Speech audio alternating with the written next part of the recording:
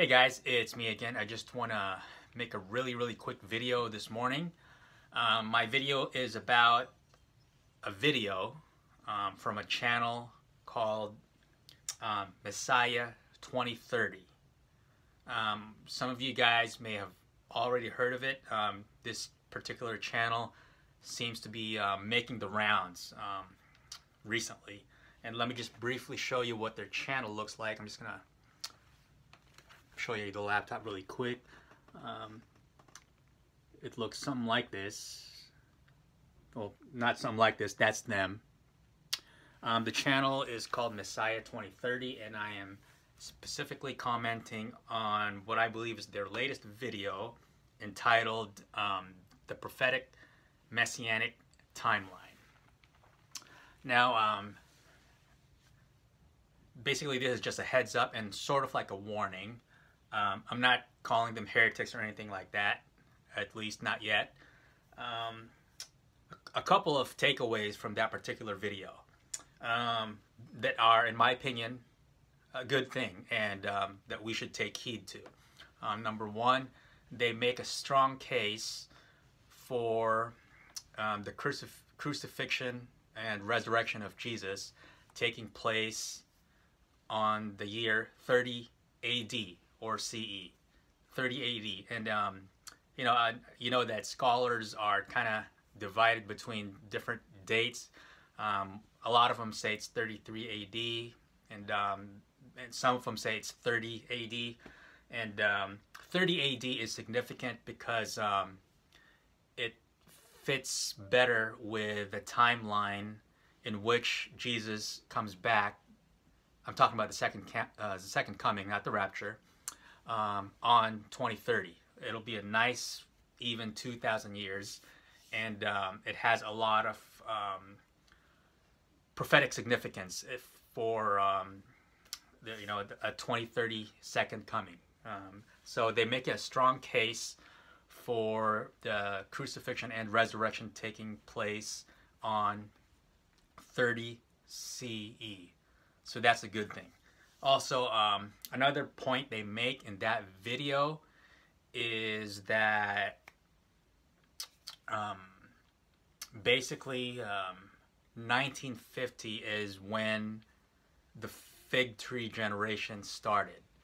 Um, you know, we a lot of us, myself included, um, take 1948, May 14, 1948, as the beginning of the fig tree generation because that's when Israel was reborn as a nation.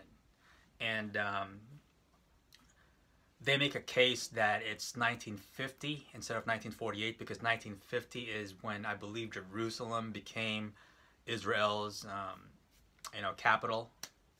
Um, yeah, 1950. That's their argument. Um, I think, you know, I'm, I'm not against that, and I think um, that's actually a good thing because if indeed 1950 was the start of um, the fig tree generation, then that means the Psalm 90 verse 10, um, 70 to 80 year generation is still in play. And it, it again, it goes perfectly with the 2030 second coming of Jesus. Because um, if you're familiar with that fig tree generation theory, you know, it, it's, it's basically saying that, you know, Jesus has to come back, you know, before the 70, 80 year tribulation, or I'm sorry, um, generation has come to pass. And we all know that Israel is, um, I believe, turning 75. So, um, and, um, you know, the second coming, the Great Tribulation has to happen before they're past their 80th birthday. And, um, with the Great Tribulation being seven years, we're already kind of past that, and now the Watchman community is sort of um, making provisions on why that seven-year tribulation will still somehow fit with a 80-year fig tree generation, even though it's going to get past it you know, by about a couple of years. So, anyway, so those are the two takeaways from that video. Um, again, number one, that 30 AD or 30 CE is probably when um, Jesus was crucified and resurrected. And again, that's significant to fit the 2030 second coming, as is the fig tree generation starting on 1950 rather than 1948. So those are the two good main points that this video um, makes. But here's the warning that I want to tell you guys. Um, this video is about um, comparing the days in which the Lord created the entire universe. You know, he he the world was created in six days, six literal days. But the um, the the point this video is making that each of those days represent a thousand years, and those thousand years in our timeline correspond to each of those days. Um, basically, day six will be um, well, day seven um, signifies the millennial reign, the, thousand year reign of Christ. It, so um, that's just a brief summary of what the video is about. But here's the warning um, there is absolutely no mention of the Great Tribulation in this video. I mean, it goes over all the significant events um, in our history based on the six day creation, trying to match it all up.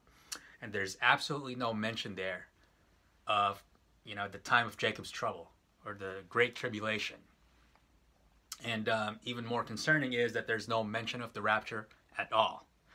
Now, uh, if you've been watching um, any of my videos, you would know that I'm a strong, strong pre-trib um, believer, and I believe it's the only biblical view. It is the only biblical view. And um, I have other videos talking about that, so I'm not going to get into that too much right now. But just um, I just wanted to point out that it's kind of concerning that they make absolutely no mention of the rapture or the Great Tribulation in this video when they've mentioned other things that are, in my opinion, a lot less significant than the rapture and the Great Tribulation, especially pertaining to, to um, Israel. The Great Tribulation is a big, big deal, and they make no mention of it.